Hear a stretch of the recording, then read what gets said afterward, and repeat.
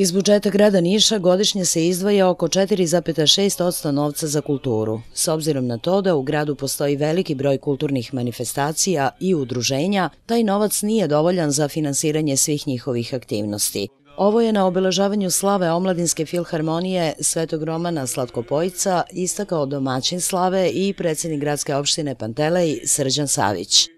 Mi se trudimo da u skladu sa finanskim mogućnostima pomožemo i veći broj drugih manifestacija koje se odigravaju bilo na teritoriji gradske opštine Pantele i bilo u drugim delovima Niša, jer smatramo da lokalna samouprava mora da bude izdašna prema ustanovama kulture i kulturno-umetničkim manifestacijama, zato što je to sastavni deo identiteta jednog naroda i od izuzetnog je značaja za funkcionisanje jedne države, jer se na taj način čuva i sećanje na prošlost, a na neki način se pravi konekcija sa budućnošću.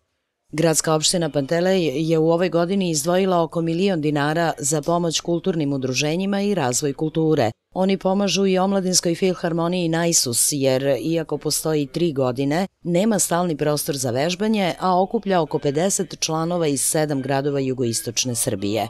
Mladi ljudi koji tek stasavaju, koji će sutradan biti okosnica razvoja muzičke umetnosti ne samo u našem gradu, nego i Srbiji uopšte, imaju prilike da stasavaju i da se razvijaju, pokazujući svoje raskošne talente i mislim da je u tom smislu Omladinska filharmonija pokazala ne samo da tu postoji raskošan potencijal, nego da je u stanju da se takmiči sa relevantnim omladinskim filharmonijama iz svih krajeva sveta.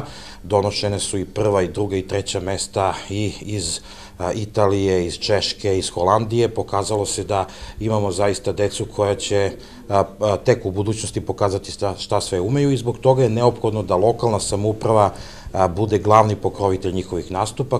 Omladinska filharmonija će povodom obeležavanja trogodišnjice postojanja na Dan Svete Petke 27. oktobra održati koncert Veliki Mozart Konstantinu Velikom u hramu Svetog cara Konstantina i carice Jelene u Nišu.